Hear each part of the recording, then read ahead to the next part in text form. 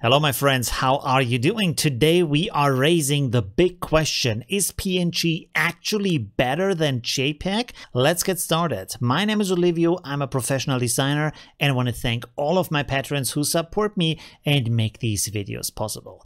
If you think, oh my god, you're stealing this idea from Piximperfect, no, I'm actually referencing his video because I always wanted to do a video about PNG. So of course I researched the topic and he he's showing something that's really interesting. I was like, hmm, is it really the case? So I did the same experiment than him. So let's check out this thing here. We have a rectangle here with a uniform gray background. Then I have an overlay here that is a gradient and this gradient is going transparent to one side. And then we save it as a JPEG and we save it as a PNG. And you can already see on the screen that there is some color banding going on. Now, when you look at the video of Piximperfect, he's showing a comparison and he's showing it like this. So we have here the saved JPEG and then we are applying a curve to that and we see this color banding. And of course, what the curve is doing is it's pushing in the dark values and the bright values. So everything becomes very narrow and you see these bands visually and it looks really, really interesting. Now he brings the second example of the PNG. You can see there's also some color banding and then we turn on our curve, but it looks like this. It looks super smooth, it looks very nice. In his video actually looks more color bandy than it does here in Affinity Photo. Now when you look closely at the video, you will see that the JPEG, of course, is in 8-bit, but the PNG he's using is in 16-bit. And of course, 16-bit has a lot more values than 8-bit has. Another important thing here is to not forget about my live stream tomorrow night. We're going to have a lot of fun. Let's go on with the tutorial. So if we have a PNG and that PNG is actually also in 8-bit, the result is looking like this. And as you see, it is looking exactly the same as for the JPEG. So in that regard, there's not really a difference between the PNG and the JPEG, even though it is lossless, because the banding is already in the original data that you are saving, that you are compressing. So that is the big difference. Of course, if you have a raw file, if you have a raw photo, it is going up to 16-bit of quality so you can do that and the PNG would actually help you avoid color banding in the rare cases where you get color banding. If you start out with a JPEG on the other hand, which is 8-bit, there is no version of JPEG that is 16-bit or 10-bit or any kind of other value. It's always 8-bit.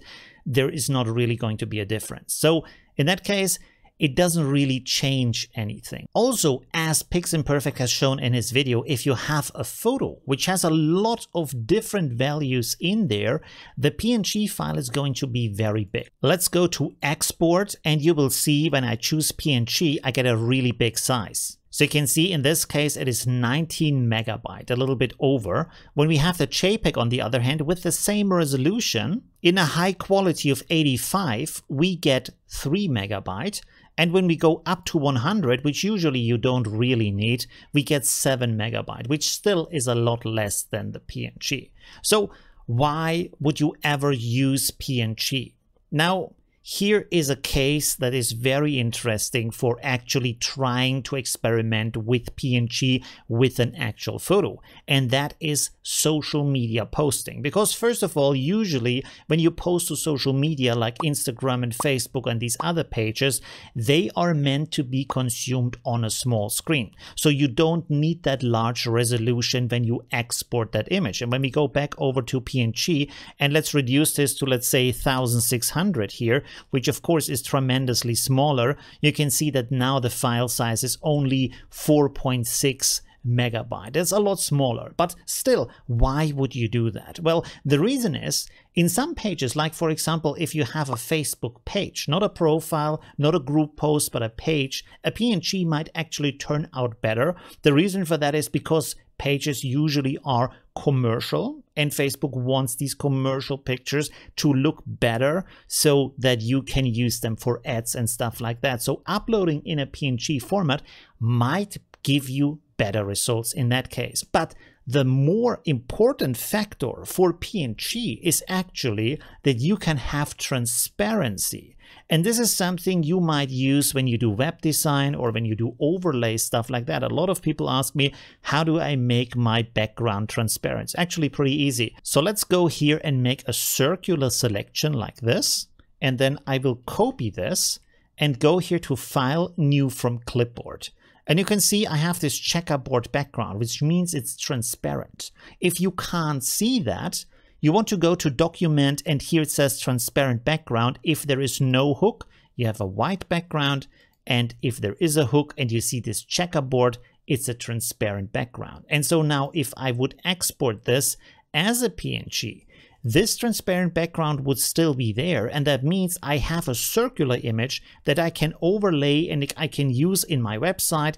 I can use it in designs and documents where the text is flowing around that round shape. I can use it as overlays in video. So this has a lot of different applications that are actually very nice and very useful for a PNG to be used. So now when we think again about our full-sized photo, how can we improve that to get better quality? And the answer here is actually that you sharpen it for the different format, for the different medium that you want to use it in. So the best thing to do is to figure out what is the ideal size to upload to that social media page and then resize the image so it's exactly that and then sharpen it for that output. If you have Nik Collection, for example, there is a plugin that says output sharpen. And with that, you can sharpen for different purposes to get the best kind of result. Two other things that you can do to make your images look better on social media is to play with micro contrast.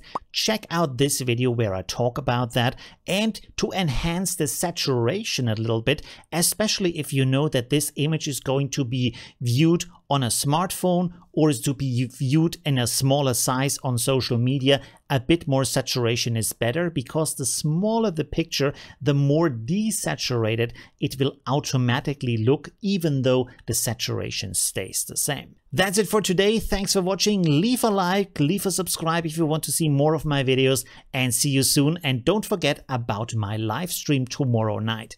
Bye.